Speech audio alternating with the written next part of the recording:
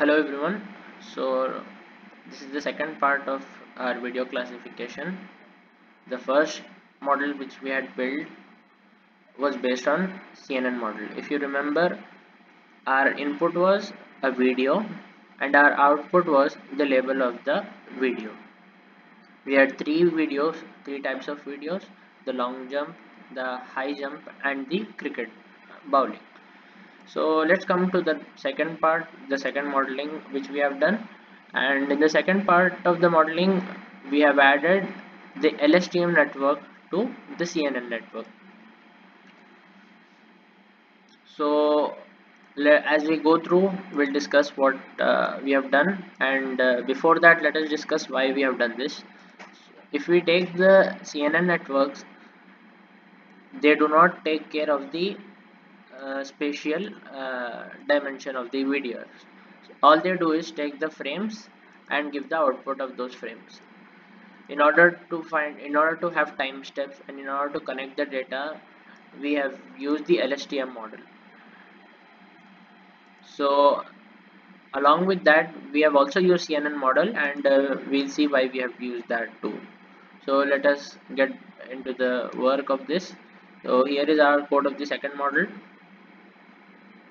here we are um, loading the data.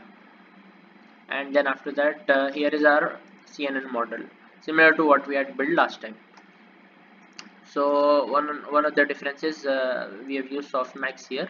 So it is obvious that we'll use softmax for um, categorical data.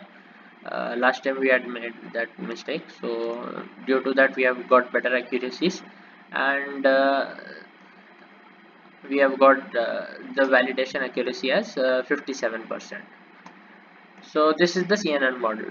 Now our idea is to use the CNN model in order to do the feature engineering in order to find the features the relevant features of the spatial um, uh, spatial uh, photos. So we have the spatial features which we have uh, uh we, which we have taken from this model how we have done that is we will take the second last layer of this model and uh, we'll take the second last layers uh, of this model and uh, we are going to extract those features. And those features will be used as uh, the input for the LSTM model. That way we'll be able to extract the special features. So that's what we have done here. Uh, this is the model and uh, here we are extracting the layer and uh, the spatial features from the above made model of CNN so here we have extracted this feature and here we have the featured data. So each of the photos uh, each of the frames have 64 features.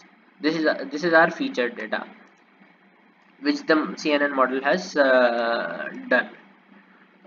And after that uh, once we have done this um, uh, we have now come to the second part uh, of uh, using the LSTM model. In order to use the LSTM model we not only need uh, the special features we also need the time steps.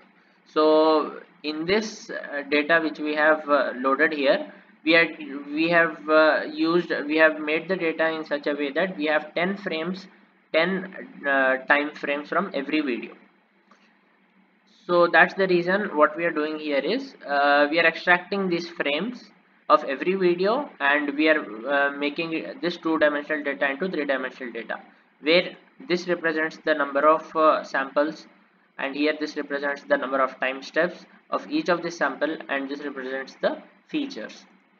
So similarly we have done for the test data also.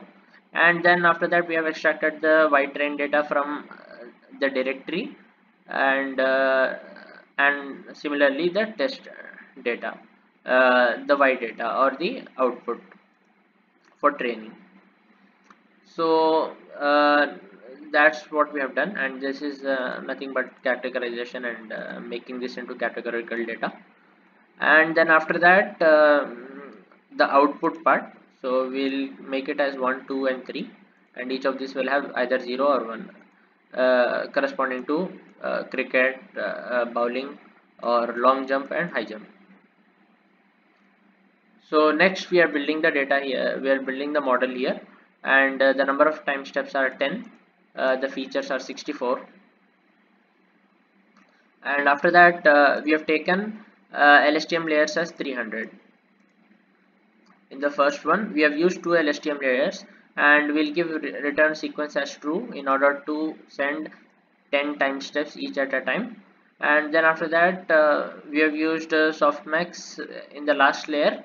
And after that uh, we have put the we have uh, put the learning rate as uh, uh, e power minus 5 for because otherwise it, it's getting stuck in the local minimus and we have seen while doing it without mentioning the learning rate.